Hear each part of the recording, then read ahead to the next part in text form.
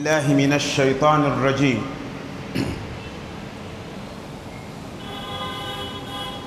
بسم الله الرحمن الرحيم. الحمد لله رب العالمين. اللهم صل على محمد وعلى آل محمد. كما صليت على إبراهيم وعلى آل إبراهيم. وبارك على محمد وعلى آل محمد كما باركت على إبراهيم وعلى آل إبراهيم إنك حميد مجيد. وارض اللهم عن جميع صحابة رسول الله الذين بذلوا أموالهم وأوقاتهم وفراغهم وأرواحهم وأجسامهم مع النبي عليه الصلاة والسلام في سبيل إعلاء كلمة الله وهي لا إله إلا الله محمد رسول الله. إلى أن أوصلوا هذه الرجال أو هؤلاء الرجال الصحابة الكرام إلى الأصعدة المعمورة يعني المناطق العالم رضي الله عنهم أجمعين. رب اشرح لي صدري ويسر لي أمري واحلل عقدة من لساني يفقه قولي أعوذ بالله السميع العليم من الشيطان الرجيم من همزه ونفخه ونفثه ndugu zangu katika imani tuko katika mwaka mpya wa Kiislamu Muharram shahrullahi almuharram mwezi wa Mwenyezi Mungu mtukufu katika moja ile miezi minne ambayo ni inafuatana na iddata shuhuri inda Allah 12 shahran fi kitabillah yawma khalaqa as-samawati wal ard minha arba'atun hurum قال ابن كثير وبعض المفسرين رحمهم الله ثلاثة سرد وواحد فرد miezi mitatu mitukufu inafuatana. Fungo pili fungo tatu fungo nne. Wa wahidun fardun lakini mmoja upo peke yake ambao ni mwezi wa Rajab. Sasa katika mihadhara hii ambayo inaendezwa ama inaendelezwa na kamati ya Qiblatain hafidhahumullah tangu miaka hiyo nimeanza kufanya nao kazi hawa. Tangu ninasoma Mombasa mwaka 87 88 89 90 mpaka leo. Mada niliyoichagua nilikuwa nimechagua tafsiri ya aya 17 mpaka 20 katika suratun Nabai au suratu Amma, lakini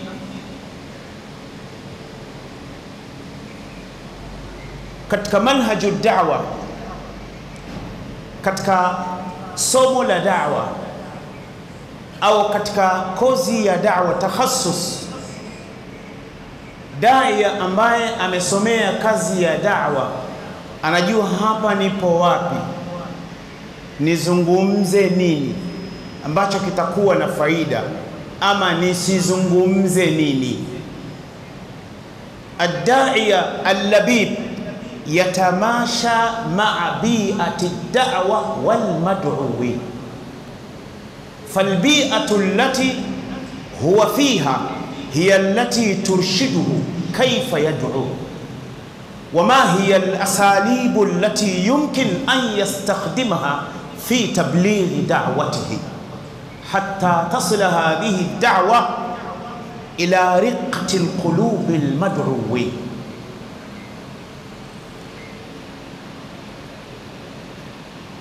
mazingira tunayoishi wanadamu ya dunia hii na tunayoishi nayo popote tulipo, mimi mwenyewe nikiwemo, nimelazimika kubadilisha mada.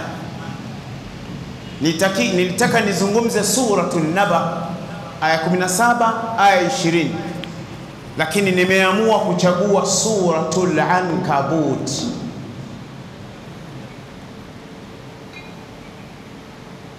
Kabla ya kwenda katika aya katika suratul Ankabut, nitoe faida kwa wale watazamaji ambao watapata kupitia media hizi ambazo zipo hapa popote pale watakapokuwa duniani.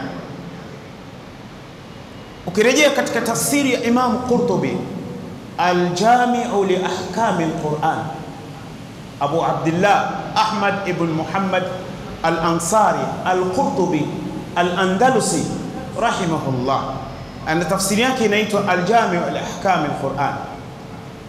Mara ya kwanza anaanza kuisoma hii chuo kikuu Madina mwaka 92 93 mpaka tunamaliza.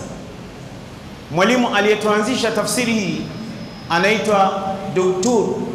Umar Yusuf Kamal ambaye ni muadhini katika msikiti wa Mtume sallallahu alayhi wasallam min dhaka al-yawm ila yaumina hadha, tangu miaka ile mpaka leo ni muadhin, mpaka nimerudi haji mwezi huu wa saba 2023 tarehe tisa, wakati tupo Madina, aliqim baadhi ya sala, ndiye aliyetuanzisha tafsiri hii, ikawa imeingia katika kichwa changu namna alivyotupitisha. Tulianzia suratul Furqan mpaka kuja huku, kama vile alivyoniathiri kumsikiliza na kukaa darasani kwake Sheikh Ahmad Dumila hafidhahullah, ambaye ni Mkenya Mombasa, katika msikiti wa Birikao 87, 88, 89, 90 ninasoma Kisauni. Wakati wa alasiri nilikuwa nakwenda kujisomea pale. Inapofika maghrib, nafunika madaftari yangu naweka pembeni, namsikiliza shekhe. Alikuwa na tafsiri anayoitumia inaitwa tafsirul maraghi. Sheikh Dumila alikuwa hanijui, lakini mimi nilikuwa nakaa pembeni kama hivi, nikastafidi sana, ambayo faida ile inakwenda katika mizani yake. Sasa suratul Ankabut, Imam Qurtubi anasema suratul Ankabut makkiya. Hii suratul Ankabut imeteremkia Makka illa isipokuwa min aya kuanzia aya ya kwanza mpaka ya kumi na moja akasema famadaniya, hizi zimeteremkia Madina. Wa ayatuha, idadi ya aya sura hii ni aya 69. Akasema nazalat ba'da Rum, sura hii Al-Ankabut imeteremka baada ya kuteremka suratul Ankabut ya surati Rum ambayo ni sura ya 30. Warum, na suratu Rum imeteremka baada suratul Inshiqaqi. Kwa muhtasari, hayo ni maelezo ya Imam Qurtubi rahimahullah. Chapa ndiyo nayo mimi ni Dar al-Kutub al-Ilmiya. Ana tafsiri inaitwa at-Tafsiru al-Kabir au Mafatihul Ghaib, anasema Suratul Ankabut makkiya, imeteremkia Makka. Akasema waqila, wanachuoni wanasema nazalat min awwaliha ila ra'si ashara bimakka, kwamba kuanzia aya ya kwanza mpaka aya ya kumi imeteremkia Makka. Imam Ahmad Mustafa Al-Maraghi Al-Masri, tafsiri inaitwa Tafsiru Al-Maraghi, tafsiri nzuri sana. Akasema hii ya Makia nayo imeteremkia Makka, naye akaeleza kama walivyoeleza wanachuoni wengine kwamba hii aya ni aya miongoni ambazo zimeteremkia Makka au Madina. Sasa سورة العنكبوت إميانزنا حروف مقطعة ألف لام ميم ألف لام ميم الله أعلم بمراده الله ندينا يجيو معنى واجتهد في هذه أو في تفسير هذه الآية ومجتهد تفسير هذه الآية بعض العلماء رحمهم الله قال علي بن أبي طالب ibn Abd al-Muttalib al-Hashimi al-Qurashi al-Makki radiyallahu anhu akasema, nazalat baina makkata wal madina wa hiya 69 aya. Hii sura imeteremkia kati ya Maka na Madina, ina aya 69. Jumla ya aya ama sura ambazo zipo katika jumla ya sura ambazo zipo katika Qur'an ambazo ni hurufu muqatta'a ni sura ambazo zimeanzwa na sura gani? Ambayo ni alif lam mim dhalika alkitab. Sura ya mwisho ni nun wal qalam wama yasturun, ambayo hiyo ndio sura ya mwisho. Baada ya nun wal qalam unakwenda tabaraka alladhi biyadihi almulku wa huwa ala kulli shay'in qadir.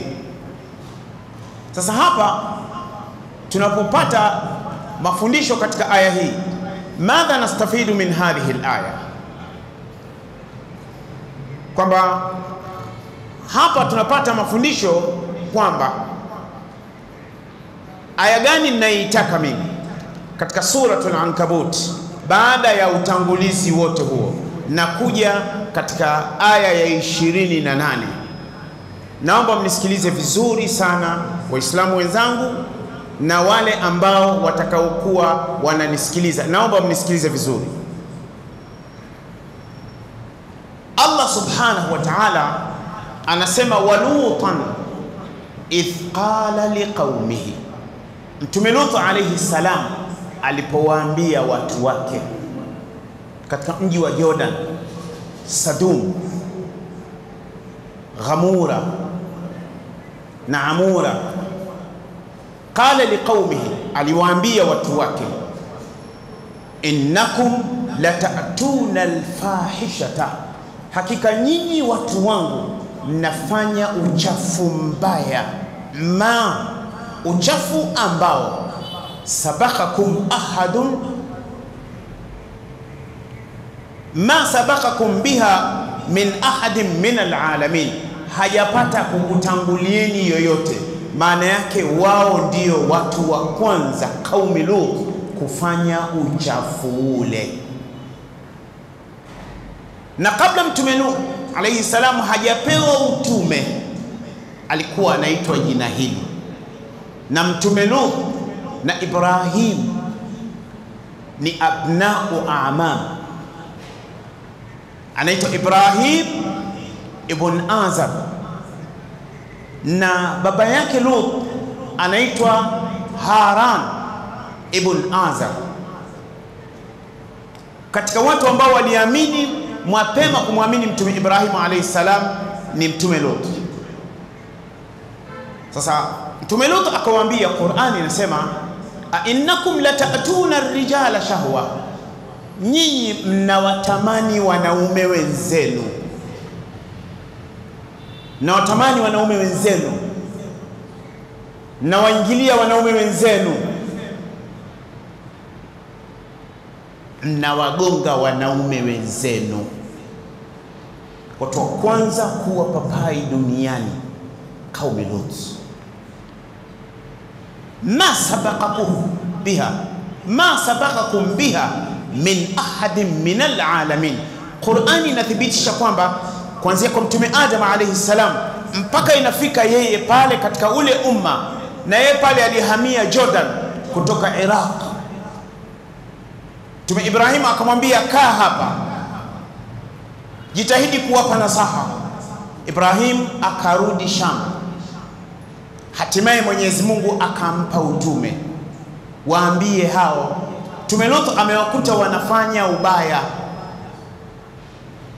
ma sabakakuha ma sabakakum biha min ahadin min alalamin innakum latatuna rijala shahwa, hakika nyinyi mnawaingilia wanamume wenzenu. latatuna rijala, mnawaingilia wanaume wenzenu, wataktauna sabila, na mnakaba watu. Watu wa kwanza kukaba ujambazi njiani porini ni watu wa. Walikuwa na madhambi mawili, kwanza mabasha, alafu wakabaji.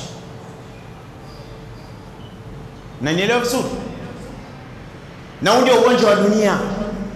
Kwa hiyo watu wa kwanza kuanzisha vitendo vya ujambazi ni watu wa Lot na watu wa pili, watu hao hao ukabaji njiani, wananyang'anya vitu njiani. Mpaka leo kuna watu wanateka magari, wanateka meli. Hawa ni vijukuu vyenye bakteria wa wakabaji wa Lot.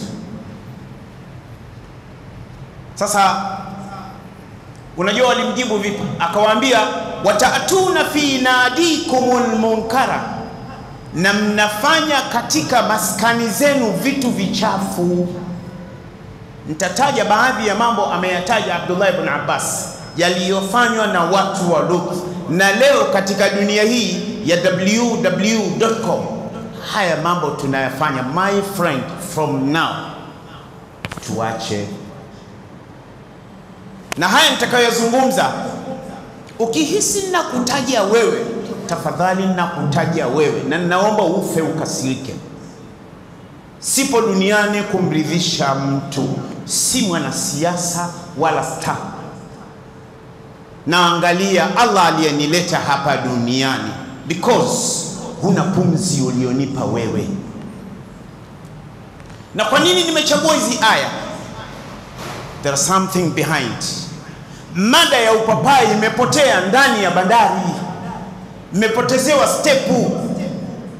Sasa mwanangu, naamsha dude. Hawa wanaojadili bandari na kung'ang'ania bandari, hawa hawa hawa hawa ndiyo waliofadhiliwa na mapapai hawa na walikubali ushoga, na ushoga ni uchoko. Washenzi wakubwa hawana adabu, wanasiasa ambao wametetea uchoko na yeye mwenyewe choko, ama wao ni machoko. Naomba msizungumze, nifate mimi mwenyewe Rusagani. Bandari na nini hivi? Mnafahamu nyinyi wa Tanzania, bandari ya kwanza hii imejengwa mwaka gani? Chukua hiyo mwaka 1896 imejengwa na Mwarabu. Mwarabu, Mwarabu. Nyinyi mna mateso gani na Waarabu? Kwani Waarabu wamefanya nini? Mimi sio Mwarabu wala sina, sina damu ya Kiarabu, lakini wai Mwarabu aliyeleta utumwa Mwarabu. Wanasema huyu Mzanzibari anataka kuuza nchi Astaghfirullahi adhim, laanakumullah, Mungu akulani. Washenzi, hamna adabu. Na ninalitumia hilo neno, kama nyi wenyewe mnahisi msikitini ampendi, please ondokeni, mtabakia na majini. Kuna majini wapo hapo, wamekuja kwenye darsa. Kwa nini bandari before Mwarabu si watu waliokuwepo wamechukua bandari, si Waarabu? Mbona hatukusikia mmechonga? Awamu iliyopita ya mheshimiwa rais aliyefariki, hawa wanasiasa wote wamekaa chooni wanaharisha, mpaka wengine walikimbia nchi wakaenda wakafadhiliwa wakalishwa na wakalala na machoko. Leo wanakuja wanachonga machoko hawana adabu. Kwa nini mnamtukana rais? atatuna alfahishata ma sabakakum biha min ahadi min alalamin, mnafanya ushoda, mnakabana nyinyi kwa nyinyi, mnagongana, wanabanduana, wanamume kwa wanamume, hawajawahi kufanya wowote. Astaghfirullah alazim. Qurani inasema Unajua wale mabasha wakati wa mtume Lut na wale machoko walijibu vipi? Qur'ani inasema fama kana jawaba qaumihi, halikuwa jibu la watu wa Lut illa an qalu, isipokuwa walimwambia itina bi'atunta minas sadiqin, kama unatukataza uchoko ni vibaya, basi lete adhabu ya Mungu kama we ni katika wakweli. Ndio kawaida ya watu wa off, watu wa off. Angalia Tanzania, nyie mnapiga kelele bandari, kuna watoto wa kiume wanakuza makalio ndani ya nchi na hii wa, hawa wanasiasa wanalijua, na baadhi ya hao viongozi wa dini wanasimama na wapuuzi hawa wanayajua, because wanataka kugonga bandarini. Akichukua mwarabu hawagongi. Kaeni na mama seni, sema mama, mwarabu anachukua, sisi tutakula wapi? Ya nini kumtukana? Kwa nini mnamtukana rais? Nikuulizeni swali, ingelikuwa makao makuu yamehamishiwa Dodoma na mama Samia, kelele zingefika wapi? Je, kuna mtu alichoka katika wanasiasa? Na kuulizeni, msiogope. Kuna mtu alichonga? Walichonga au kuchonga? Kwa sababu akichonga tu anaokuta kwenye kiroba asubuhi, Ocean Road, na mpaka we, hata ukimuuliza Google, e bwana, huyu jamaa akapotea, yuko wapi? Google mwenyewe anasema mimi sijui.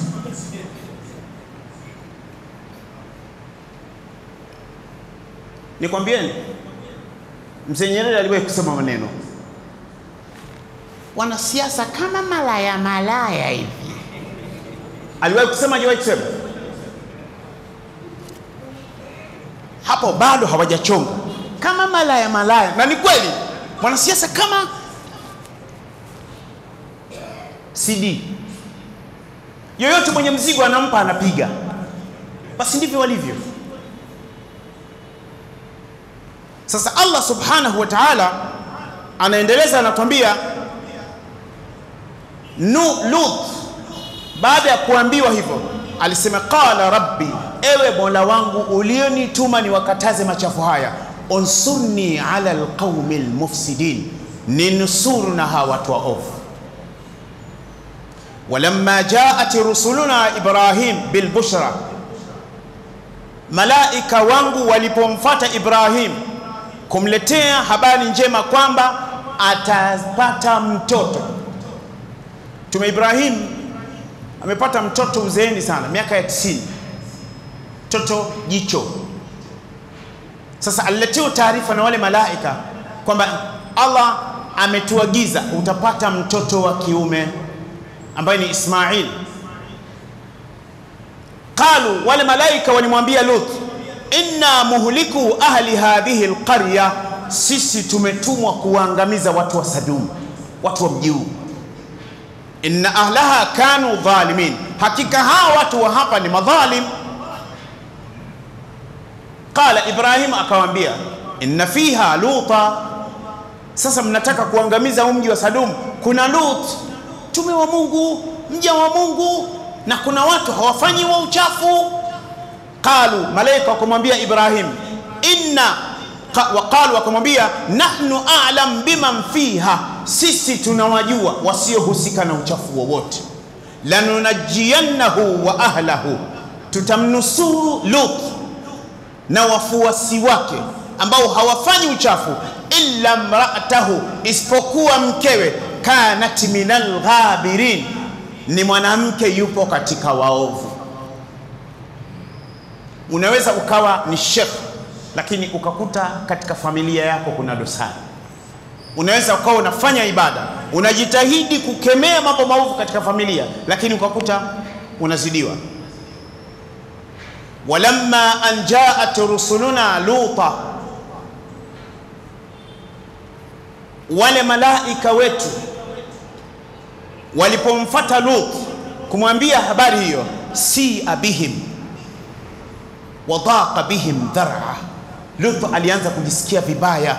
Waqalu, wakamwambia Lut, la takhaf, usihofu, sio wewe muhusika, wala tahzan, wala husihuzunike, inna munajjuka, sisi tutakuokoa. Hutopatwa na maangamizi haya, wa ahlaka, na watu wako, illa mraataka, isipokuwa mkeo, kanat minal ghabirin, huyu ni mwanamke ambaye atakuwa katika watu wa ovu. inna munazzilu inna munziluna ala hadhihi alqarya, hakika tutateremsha kwa watu wa nchi hii rijzan min sama, adhabu kutoka mbinguni, bima kanu yafsukun, kwa yale waliyoyafanya, kwa yale waliyoyafanya. Basi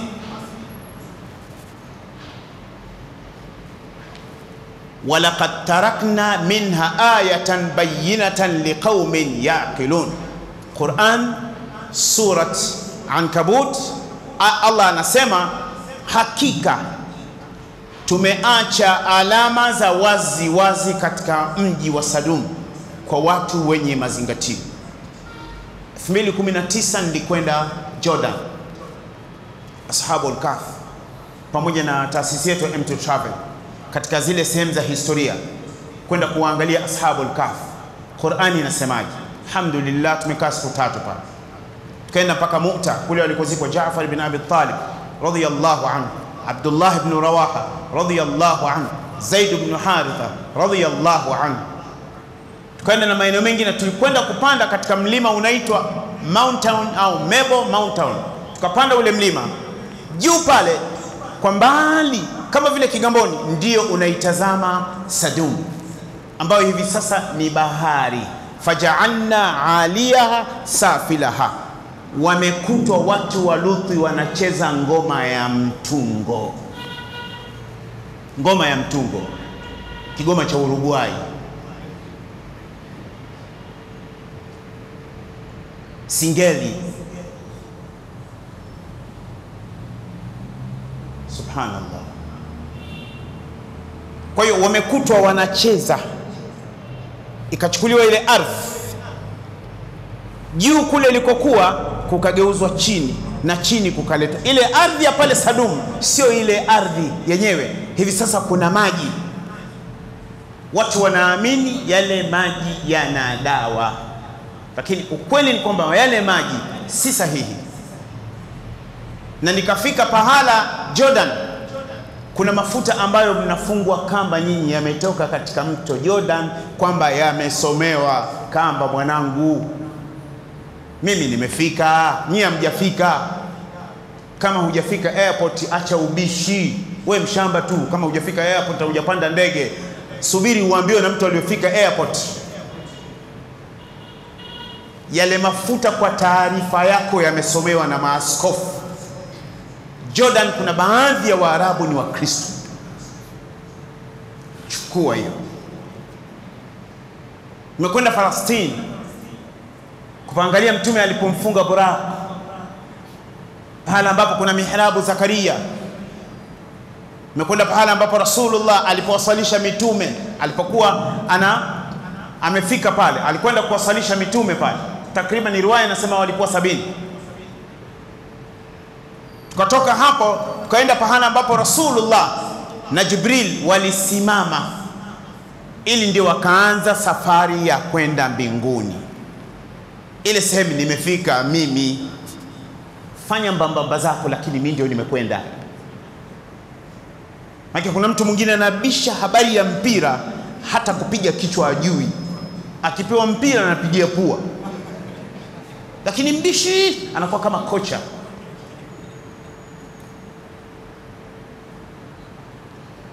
Sasa ndugu zangu, liwat ni nini? Nini maana ya liwat? Wanasema wataalamu wa lugha ya Kiarabu na wataalamu wa sheria, waliwatu istilaha, kuingiliana wanamume katika istilahi ya kisheria, ilaju dhakar fi duburi dhakarin au bahima, ni mwanamume kuingiza USB yake katika chaja ya mwanaume mwenzake ya nyuma, ima ya mnyama, anaingiza USB ama anaingiza pamoja na power bank. Mwanamume kainama, anapigwa bomba la nyuma, hiyo inaitwa ni liwat. Ndugu zangu, mi ni mwalimu huu, sijui unafika mwaka wa 40 na bado ni mwalimu pale Mpojuni. Juzi nilikuwa na wanafunzi wangu form 6 tulikuwa tunazungumza kuhusu historia, nikaambia nani kati yenu anakubali kwamba asili ya mwanadamu ni nyani? Buku hii hapa. Basi wanafunzi wote wakunyosha mkono, wanacheka tu. Nikamwambia buku hii, naomba unithibitishie babu yako nyani. Mwanafunzi mmoja akasema, ticha, likiulizwa lile swali si unajibu tu kwamba ili upate maksi, basi ukishajibu imekwisha. Nikamwambia sawa, si unajibu kwamba unajibu just kujibu sawa. Swali, mwanamume gani kati yenu, nikwambia nyewe wasichana kaeni tu, mwanamume gani katika nyinyi wavulana asimame nampa buku mbili tumkamate makalio? Sema ticha, noma hiyo. Nikamwambia noma vipi? Sikia, sikukamata tu, si kama kule kujibu tu nyani hivi. Nikuulizeni swali, kwa nini Mwarabu ameleta utumwa? Ni sahihi Mwarabu kaleta utumwa? Historia ndiyo kweli? Ni uongo, hata Ibilisi anajua. Swali na kuulizeni, Haiti iko wapi? Ipo Arabuni au ipo wapi? Naomba mnijibu wenyewe, Haiti iko wapi? Na Haiti iko wapi? Marekani, si ndio? Marekani ya Kusini. Swali, aliyewapeleka watu weusi wale kama kidongo cha lami kule Haiti ni Mwarabu mzungu? Na mbona ile haizungumzwi? Chukua ya kwanza. Ya pili, mnaiona Brazil. Brazil wale watumwa. Trinidad. Ni watumwa, Tonga. Ni watumwa, Suriname. Ni watumwa. Aliyewapeleka kule Mwarabu, kwa nini si mzungu? Mwaka 1886 1886 Dar es Salaam ilikuwa inaitwa Mzizima. Sultan Majid akaiita mji huu Daru Salam, na pale Ikulu kuna aya zimeandikwa lahum daru salam inda rabbihim pale, na ndio maana hata kuna wengine wanaona kero kukaa pale, wakaamua kuhama. Cheza na Qur'ani wewe. Qur'ani ukiwa shetani unakimbia, unaikimbia mwenyewe na ndio maana kuna mtu mwingine akisikia kwa ah, bwana unatuletea bwana, hebu hebu weka vitu vingine. Imekufanya nini Qur'ani?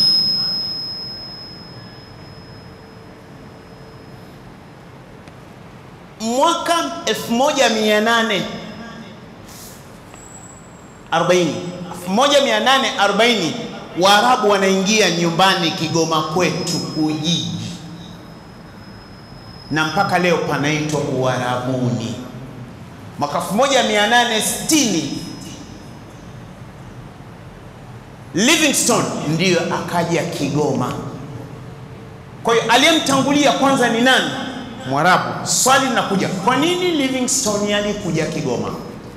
Na Livingstone alipita katikati ya barabara hii ya reli ya kati, na alipoondoka aliondoka na nyara za serikali. Katika historia haiandikwi kwamba mzungu aliiba nyari nyara. Kwa nini Mwarabu?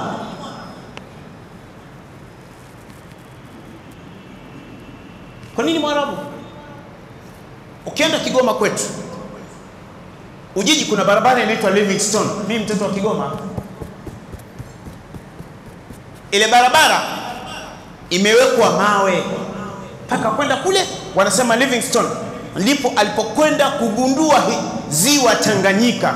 Historia fala, na waliotunga historia hii mafala, na vitabu hivi ni vya kifala. Naomba wajue hivi. Ni sawa sana kumfundisha mtoto asili ya mwanadamu ni nyani. Syllabus imeandika. Sawa, lesson plan imeandika, scheme of work imeandika, mwalimu notes anaandika, asili ya mwanadamu ni nyani. Ile lesson plan ticha nyani, na ile kamati iliyokaa kujadili ile sila basi manyani. Hiyo naomba mwelewe. Mwaka 86 hijiria, leo ni mwaka 1440 naomba mtaje leo mwaka 1400 mwaka 86 hijiria katika utawala wa Bani Umayya, Umayyan Empire, wakati wa Abdul Malik ibn Marwan rahimahullah, mwaka 86 Waislamu wanaingia Kilwa, wenyewe walikuwa wanaita Kalawa. Rejea kitabu cha Mahmud Shakir kinachoitwa Tanzania. Kilwa kuna misikiti zaidi ya mia tatu. Misikiti imevunjwa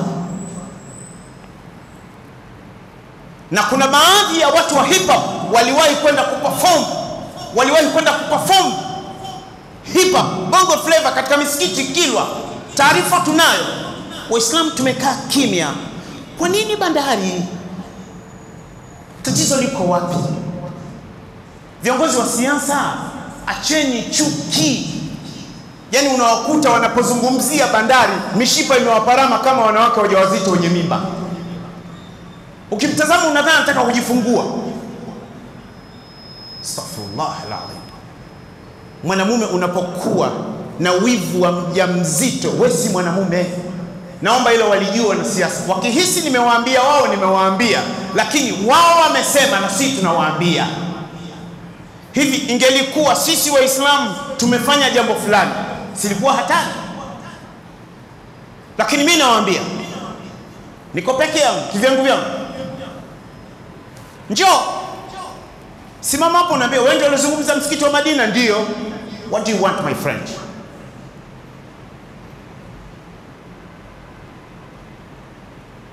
Hivi mtu kumtukana baba yake ni sahihi? Manhaji ahlu sunna wal jamaa si sahihi. Kumtukana mama yako mzazi ukamchamba mbele ya watu, ukamchamba ukamnyamba, ni sahihi? Hawa wanamtukana rais, kwa nini? Halafu wameingiza Mzanzibari anauza Tanganyika. Kwa nini Mzanzibari? Mtume sallallahu alayhi wasallam anasema dauha acheni ubinafsi, dauha, acheni ukabila, dauha, acheni utaifa, fa innaha muntina, unanuka. Angalieni nchi nyingine jirani, watoto wa kiume wa Kitanzania mnaoingia barabarani oyaoya, wanaitwa oyaoya, mtapigwa. Nilikuwa naangalia wakati najiandaa kuja huku na kunywa chai pale maana mimi ni mtu wa chai, any time is tea time. Ndivyo walivyosema wakoloni, any time is tea time. Ashrab chai fi ay waqt, chai sada, chai halib, wallah illa qahwa, qahwa ma ashrabuha. Sasa nilikuwa nakunywa chai, naangalia kuna TV mle ndani. Kuna nchi moja wanafanya maandamano vijana, mwanangu, wamechukua kisago, wamelambwa, wamelambwa wale walioingia barabarani, alafu kuna mmoja ana vidonda huko, yuko hospitali, anaonyeshwa vidonda. Swali najiuliza, mwanasiasa wewe, sheitani, Mungu akulani, unawaingiza watu barabarani wanakufa, wewe na mkeo mnaangalia kwenye TV, wewe ni binadamu au nani? Hivi mwanaume mwenzio anaweza kakuingiza barabarani? Mwanaume mwenzio, twende wapi? Ah, we twende wapi? Twende tu mwanangu. Ndiyo mwanangu. Wapi? Siendi. Ah, unazingua. Sawa, nazingua. Sometime kuzingua dawa. Sasa watu wa Lot, sikilizeni.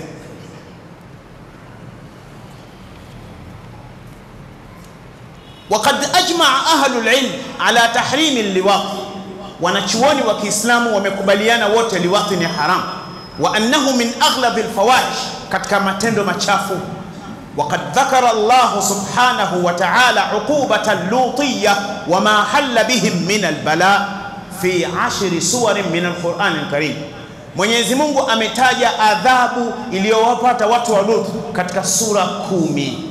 Qur'ani ina sura 114, sura kumi wametajwa watu wa Lut, kichapo walichokipata. Mtume sallallahu alaihi wasallam anasema man wajadtumuhu, mtakayemkuta kwa ushahidi sahihi, si wa kusingizia, ni kweli, ni kweli, ushahidi sahihi, ya amalu amala qaumi Lut, anafanya vitendo vya Lut, yani anabanduliwa. Faktulu lfaila walmafula bihi, yule anayembandua mwenzake anauawa na yule anayebanduliwa anauawa. Lakini wanauawa wapi? Sio kwenye nchi kwenye sheria kama hii, ni pahala ambapo pana sheria ya Kiislamu. Hapa nchini kwetu pana sheria ya kibinadamu, waache, lakini kukemea tutakemea.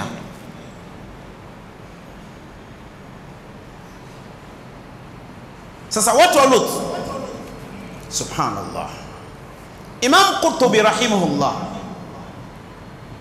anasema hivi, qala Ibn Atiyya waqad tujadu hadhihi al-umur fi ba'd usat ummati Muhammad, hivi vitendo vya watu wa Luth vinapatikana katika baadhi ya wale walioasi katika ummati Muhammad. Fatanahi wajib, kuwakataza ni wajib. Kukataza habari ya upapai ni wajib, lazima tuseme nchini Tanzania ushoga marufuku. Lau kama kuna baadhi ya vyuo na baadhi maeneo ni asiri, watu wanabanduliwa na watoto wanabanduliwa, washenzi wakubwa, na kuna watu wanapata budget from it there, yani budget anakula yeye, mtoto mwenzake analiwa.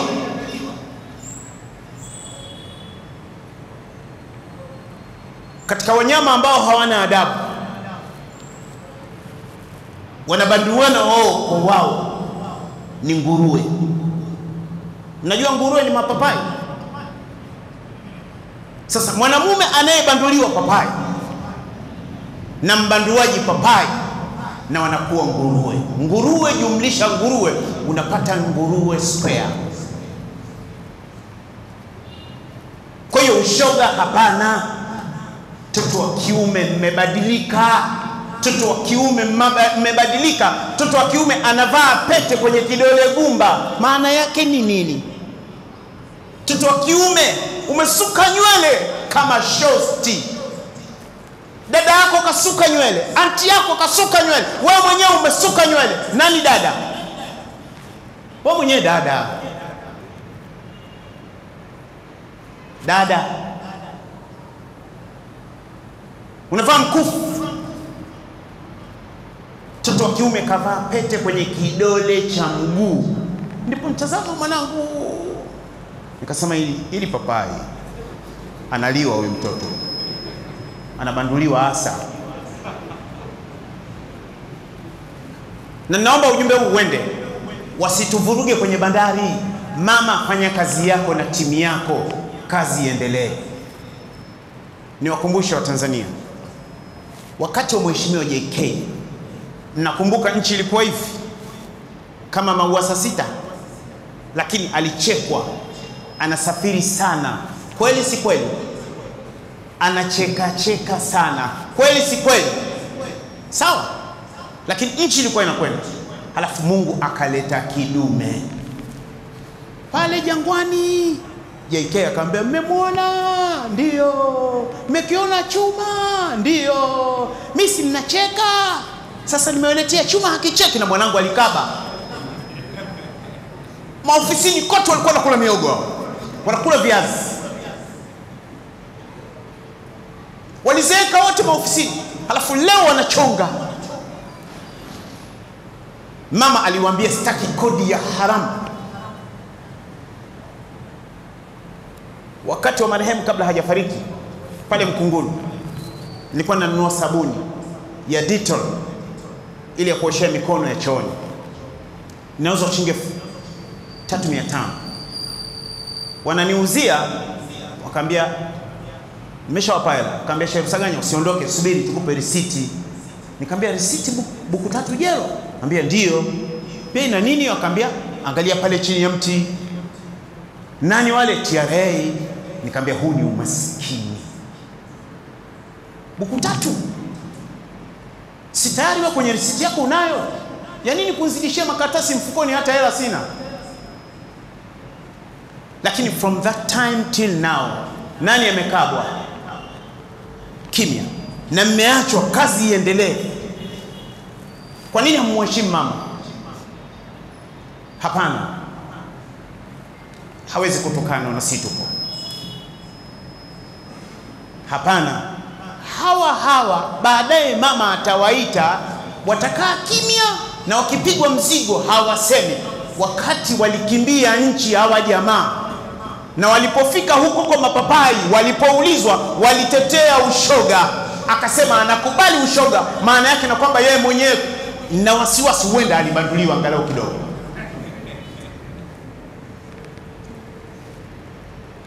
Sasa kule kubanduliwa kumemnogea, anakuja mpaka huku ili wale wafadhili wake wamuone, na wamerudi wamepewa stahiki zao zote.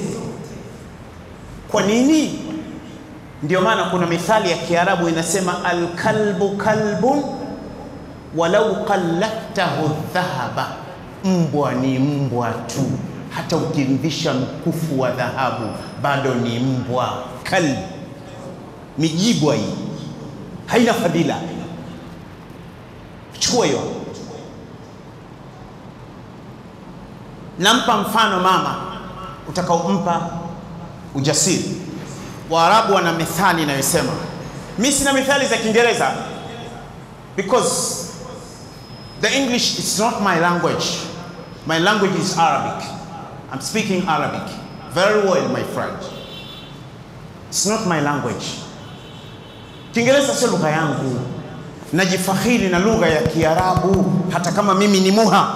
Lesh Qur'anan arabiyan ghaira dhi iwaj, Qur'ani imeteremka kwa lugha ya Kiarabu isiyokwenda kombo. Kiarabu siyo lugha lemavu. For example, in English this is a mobile zikiwa mbili mobiles, zikiwa tatu mobiles, but in Arabic tunasema mmekosea. In Arabic tunasema jawal, zikiwa mbili tunasema jawalani, zikiwa tatu tunasema jawalatun. Quranan arabiyan. Nikizungumza Kiarabu unaonekana ustaz, ukizungumza Kiingereza unaonekana umesoma. Huo ni ufala mawazo upogo huo.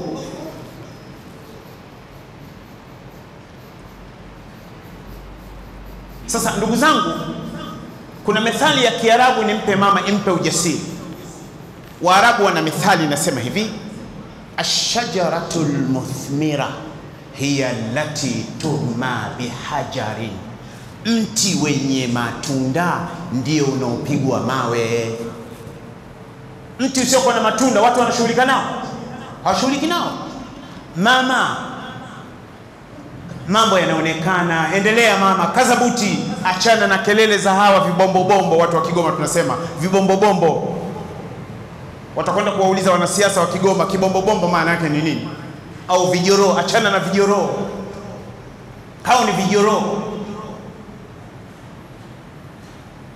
Sasa vitendo vya watu wa Lot, sikiliza hivi, subhanallah Qala Makhulun, Imam Makhul katika tafsiri ya Imam Qurtubi. Anasema hivi, fi hadhihi lumma, katika umma huu, sikiliza vizuri sana, popote mtakapofikiwa, asharatu min akhlaqi qaumi Lut, kuna tabia kumi, kuna mambo kumi katika ummati huu Muhammad, mambo ya Lutu yanafanywa. Msikilize vizuri sana. Yani leo napiga za uso tamu kumeza, lakini chungu. Ya kwanza madghul ilk, watu wa Lut, watu wa kwanza kutafuna biji ni watu wa Lut. Na washikaji, watoto wa Kibongo, mmeanza kutafuna biji, Mwanangu, sio ishara njema. unaelekea kwenye upaa. Mtoto wa kiume kila wakati unamkuta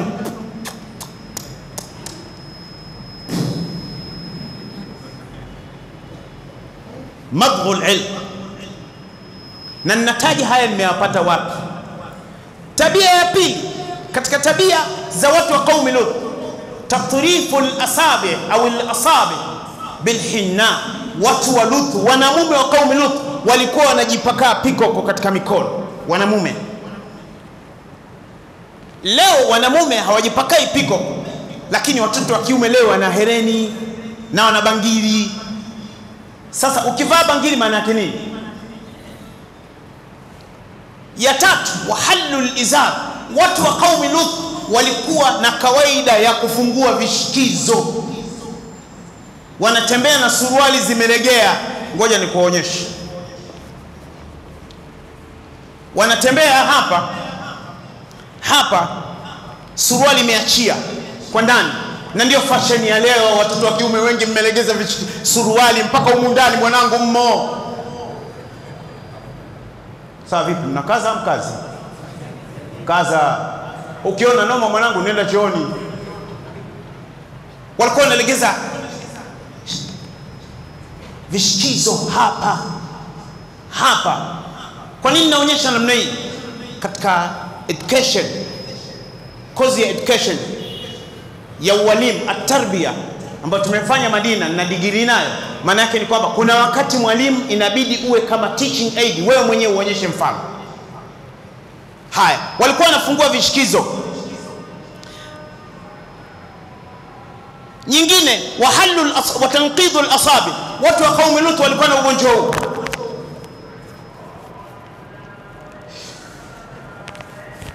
Mnafanya mfanya, mbona mmekauka? Oya, mbona mmekauka? Eti wanaume wanafanya wafanye. Ukifanya hivi mbele wanaume wenzako, what do you mean? Ish tani ma maana haya katika kaumi Lut, miongoni mwayo waliokuwa wakifanya ni wayatadharatuna fi majalisihim, walikuwa wanajambiana, yani wanajambishana katika maskani zao. Mtu akipita siku kuna wengine wanakuwa na mdadi, utaniua. Kujambishana ni tabia ya wa... yani mtu alikuwa akijambishwa, watu wa Lut anajisikia hamu, na huyu mjambishaji anajisikia hamu, wanaingia pahala wanabanduana. Sasa nyinyi vipi? Sijui hapo mmenielewa. Naweza nikasema Rusaganya, mbona anazungumza maneno mazito yasiyokuwa hivi. Wale viongozi wa Ulaya si wanatetea ushoga? Naam, ni kweli. Mbona mnaogopa? Kwani watawafanyani? Wamekuumbeni wale nyinyi, wale wazungu wazungu wale marais sijui wa UK sijui wapi Marekani, si wanatetea ushoga? Wanasema ni haki yao. Hivi kama yeye mwenyewe rais anasema ni haki ya mtu kutetewa, yeye mwenyewe anafanya nini? Anagongwa. Hivi mnajua Ulaya baada ya miaka hamsini wanaume hawapo, utabakia mademu tu. Yaani itabidi, ingekuwa inawezekana Waafrika waende kule, waende wakazae watoto. Hakuna, na ule ugonjwa ndio unaletwa kwetu unaletwa kwetu. Ndio maana baadhi ya wanawake wa kizungu wana waume mbwa, sababu so, mwanaume aliyekuwa naye amekaa kama tu picha pale, hana kazi, bora mpate mbwa tu awe anampiga piga ulimi. Katika tabia za watu wa kaumi Lot,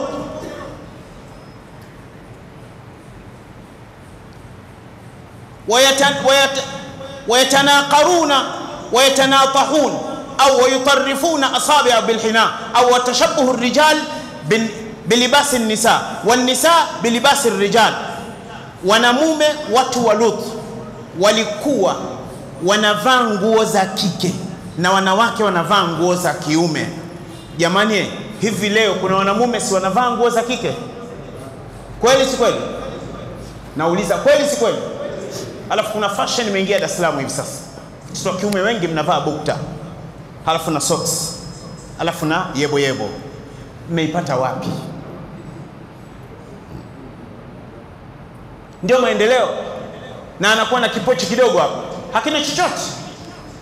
Juzi kuna mshikaji mmoja, mtoto mmoja nimemkuta pale, wanasema mtu wa dawa uwe ni mtu wa kuchanganyika na watu, sio ni mtu unakuwa kiushikaji ushikaji zaidi.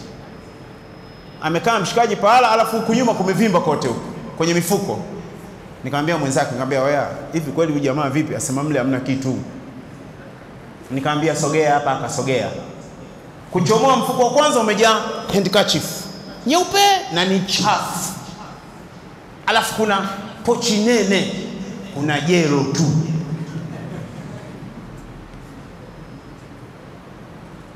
Halafu wanamume wenzangu, nikwambieni, wengi tunaswali hivi sasa, wanamume swala hatuna, kwa sababu viuno vinabakia wazi. Mnaswali viuno vinabaki wazi. Jamani, kweli si kweli? Kweli si kweli? Viuno vinabakia wazi. Hivi unamwonyesha mwanaume mwenzako kiuno, maana yake nini?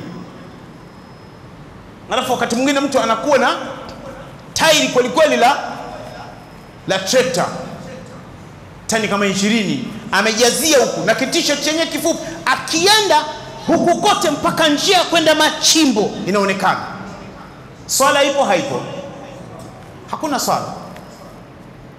Waislamu tubadilike. Tabia za watu wa qaumi Lut.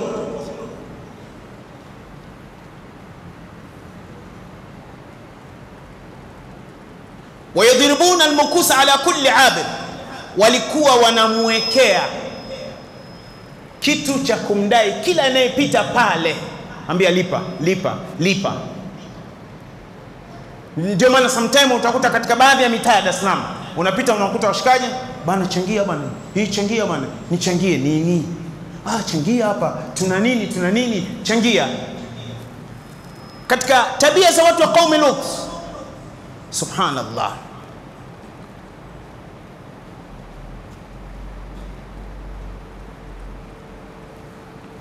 Wayalabuna binardi washatranj, walikuwa wanacheza draft na dhuna.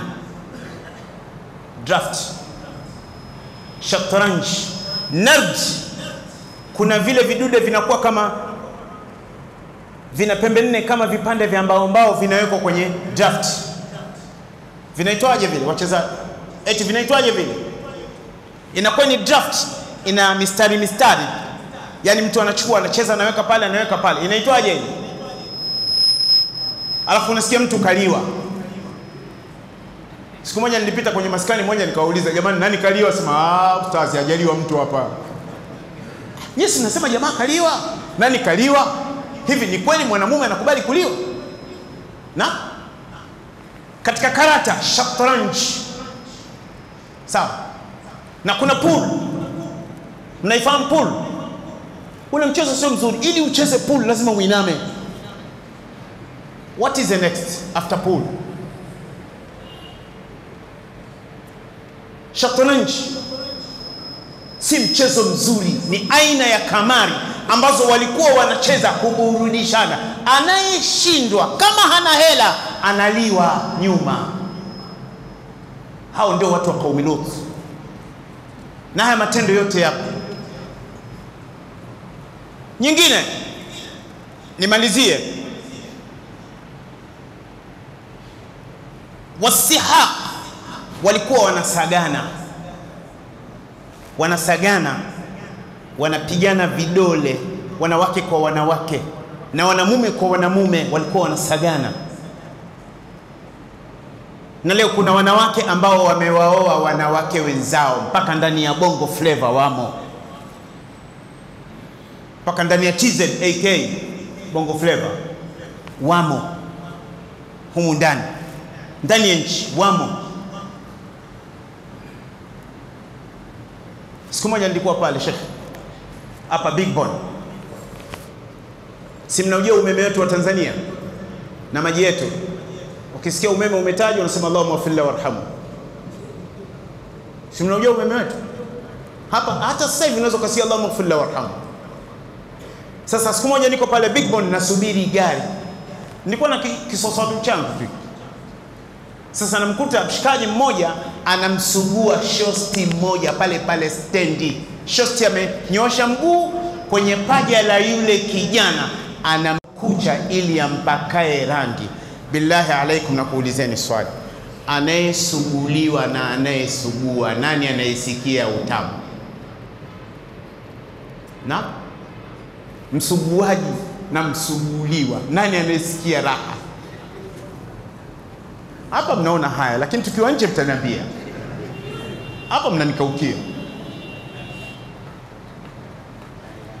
na ni fashion hivi sasa. Siku moja niko pale Mkwajuni, ndio shuleni kwangu, nimeshika kikombe changu cha chai asubuhi.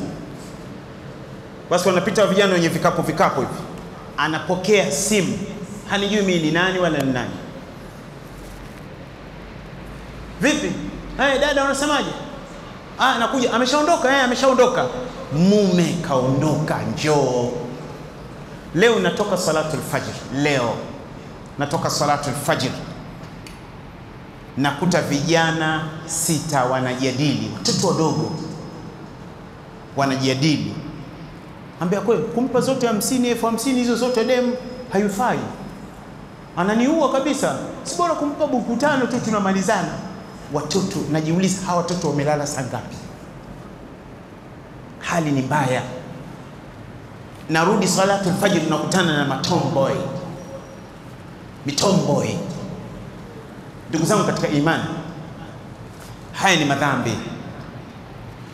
وضرب الله مثلا قرية كانت آمنة مطمئنة يأتيها رزقها رغدا من كل مكان فكفرت بأنعم الله فأذاقها الله لباس والجوع فأذاقها الله لباس الجوع والخوف بما كانوا يفعلون.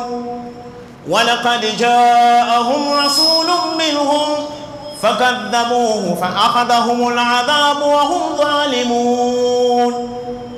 Katika sura ya 16 suratu Nahli, Allah anasema, Allah anatoa mfano qarya wa mji, kanat amina, ule mji ulikuwa na amani. Tanzania.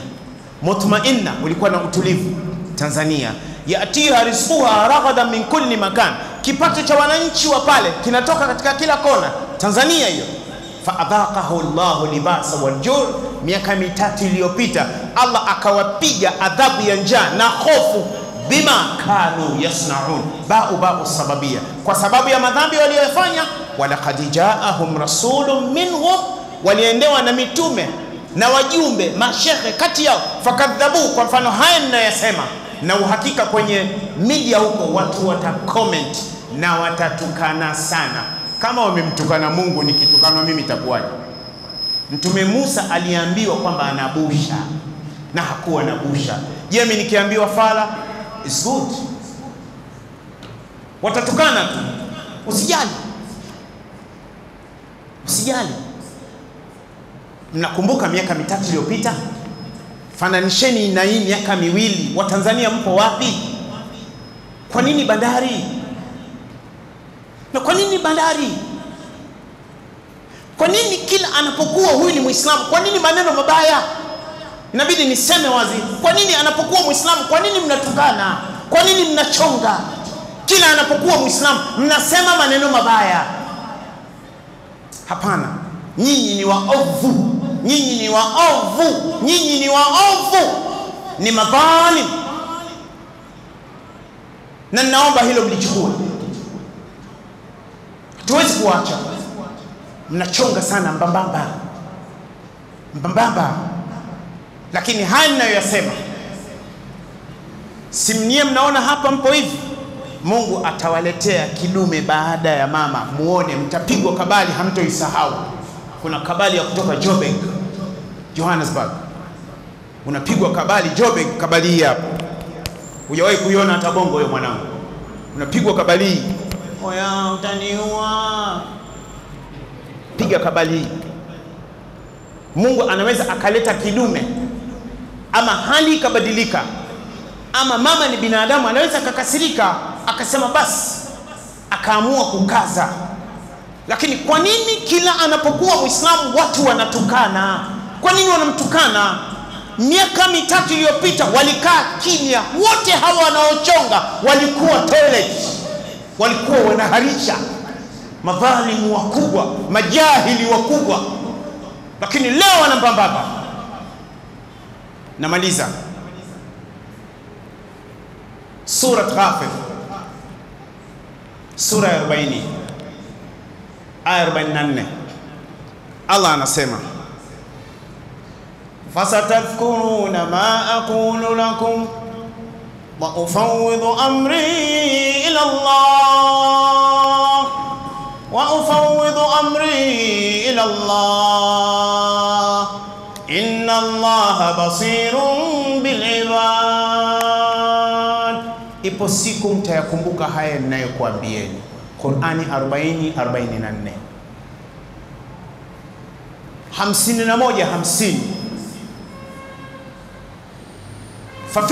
ila Allah inni lakum minhu nadhirun mubin, kimbilieni kwa Allah. Lakini kwa nini ni Uislamu? Qurani inasema ha antum ulai tuhibbunahum wala yuhibbunakum, sura ya tatu 119 120.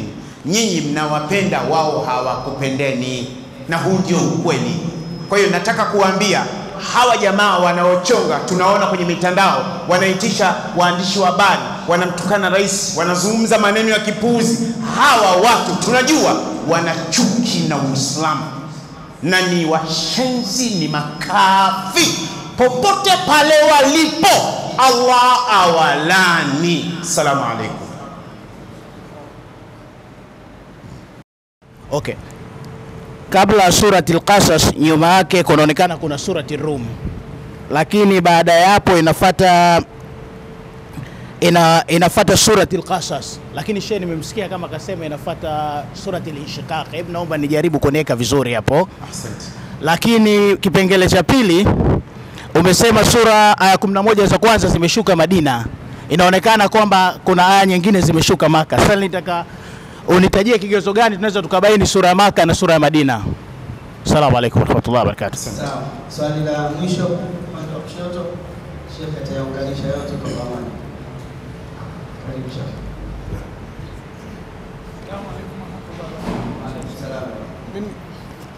Mimi swali langu ni kwa shekhe. Shekhe, mada zako ni nzuri sana ikiwemo hii ya leo, lakini shekhe, mimi swali langu moja tu ambalo kidogo nataka utuweke sawa katika uhudhurishaji wako. Kuna zile kauli kidogo ambazo tunaweza tukasema kama labda kidogo watu wengine wanao kama zina ukakasi, kwa mfano kama hivi kubanduana, kubanduliwa na kadhalika, mambo kama haya. Sasa kwa kupitia labda jukwaa hili, labda pengine utufaidishe jinsi gani, kwa nini, labda kuna mantiki gani unapenda kutumia live moja kwa moja kubanduana, kubanduliwa, labda kusiwa na kauli nyingine kidogo yenye kuleta kidogo staha staha fulani. Haya, maswali hayo shekhe ameyasikia na atayajibu inshallah. Karibu Sheikh. Kuhusu suratul Inshiqaq ni kwamba ukikasas kuna ankabut alafu inafatia. Kwa nini zime kwamba ankabut imeteremka baada ya Rum, alafu baada ya Rum ilikuja ikateremka suratul Inshiqaq, sio kwa mpangilio wa zile sura, ni namna zilivyokuwa zikiteremshwa kwa Mtume sallallahu alaihi wasallam kulingana na haja ilivyokuwa. Umenielewa vizuri hapo? Na zile aya 11 Ali bin Abi Talib kama walikuwa hai amesema hivi, aya 11 zile ziliteremkia kati ya Maka na Madina, na maana Mtume alikuwa njiani.